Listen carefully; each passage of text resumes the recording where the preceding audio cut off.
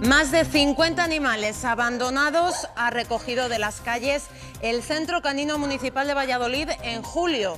En ese mes fueron adoptados 23. El proceso de adopción es muy sencillo y desde el ayuntamiento quieren animar a hacerlo actualmente. Hay 64 perros y más de 20 gatos a la espera de ello. Centro canino está ubicado en el Camino Viejo de Simancas y la gente que quiera ir a adoptar una mascota pues puede hacerlo allí en horario de mañana o bien llamando al 010 o visitando la página web del ayuntamiento. Y tienen que asistir con, con su DNI ¿no? para quedarse registrados y bueno, pues responsabilizarse del animal en cuestión.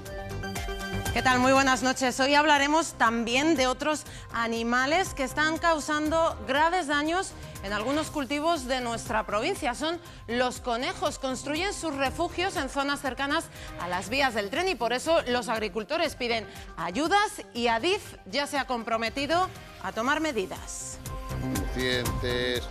Eh, corcos, ahí hay un daño inmenso. No sirve solo hacer un descaste en, en una vía férrea o en la o donde pasa el AVE, si al lado tenemos la autovía, se van a quedar en la autovía y tenemos el problema igual. ¿no?